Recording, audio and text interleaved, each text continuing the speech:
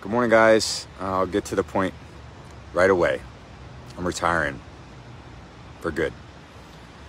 I know the process uh, was a pretty big deal last time, so when I woke up this morning, I figured I'd just press record and let you guys know first. So uh, won't be long-winded.